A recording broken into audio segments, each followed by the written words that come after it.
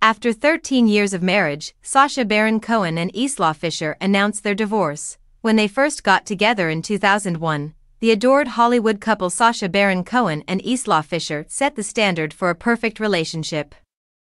Cohen sensed right away that she was the one. But, after 13 years of marriage, they are separating peacefully since it appears that fate has different ideas. With an Instagram post, the pair shocked their followers by announcing their divorce. Many were taken aback by their joint statement, which they made after 20 years of dating, announcing their news alongside a photo of them in tennis attire. They penned, after a marathon tennis match spanning over 20 years, we're hanging up our rackets at last. Their statement continued, saying, We have always valued our privacy and have been quietly navigating through this transition.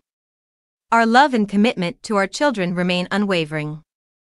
We kindly request your respect for our family's privacy during this time.